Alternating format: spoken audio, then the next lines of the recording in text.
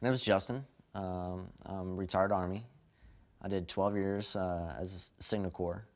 Um, my job was a 25 Quebec line of sight. I deployed uh, three times.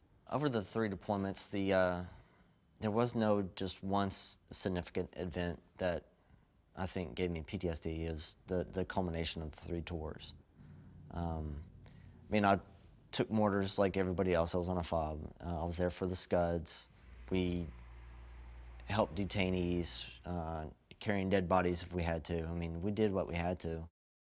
On my third tour, I was walking. I remember walking across the, the, the field. It was at night, and all of a sudden I had this rush over me, and I didn't know what was happening. I mean, I, I got scared. I hit the ground. I didn't know what was going on. I mean, I had an anxiety attack, but I, it never happened before. I went and talked to somebody, and they were like, you know, just, you'll be okay. Here, take a couple of these, and you know, there you go. I talked to a couple of you know soldiers or uh, other fellow NCOs about it, but we just had to push it to the side. When I got home is when the effects of PTSD, you know, started really coming out. You know, being hyper vigilant. I mean, I was drinking everybody drinks when they get home, but when you're drinking a 12 pack to 18 beers a night, not showing up to work the next day, I mean, you just kind of lose sense of reality. I went through rehab twice. The first time I was just there because the command told me to be there. Um, when my drinking got so out of hand and it it wasn't working, I turned to drugs. I started doing cocaine, and then finally I had a come to Jesus moment, and said, I can't do this anymore. I went back to rehab, and I've been drug free since 2009.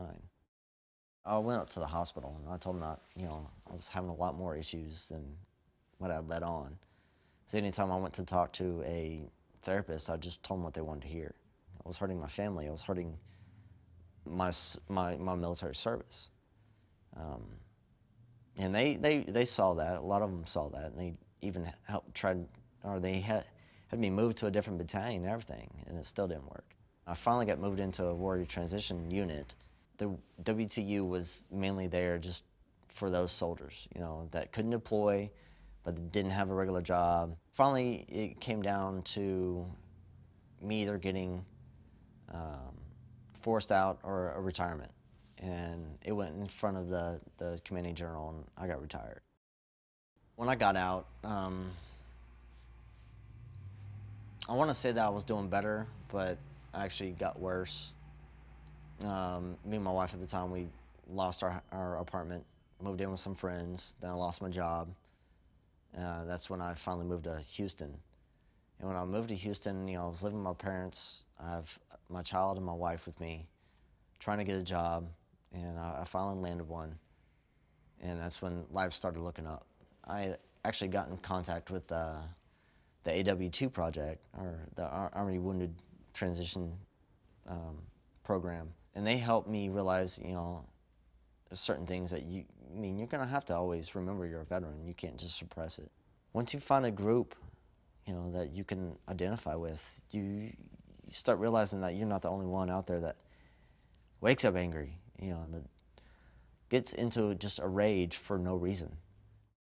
I've done counseling sessions when I got out of the military through uh, the VA. And, you know, it, with any counselor, you just have to find someone that you connect with.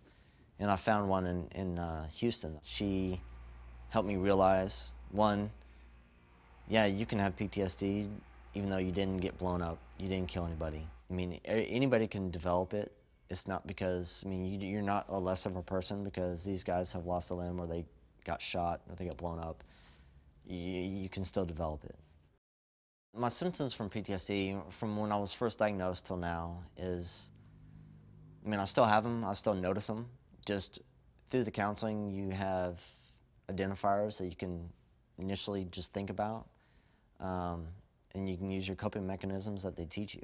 The hyper hypervigilance is still there, but not as bad. I mean, I don't have to lock every door in my house three times to know that I'm safe. I don't have a shotgun behind every door anymore. My daughter is, she's my world just along, along with my son. I mean, right now I'm a stay-at-home dad, and uh, it's great to wake up with them every day. You know, my wife works. It's, it's challenging, but it's something that I missed. You know, my son, when I left for Iraq and he was eight months old, and I get home, he's almost two. And when I got home, he grabbed onto me and he hasn't let go since. And my daughter is the same.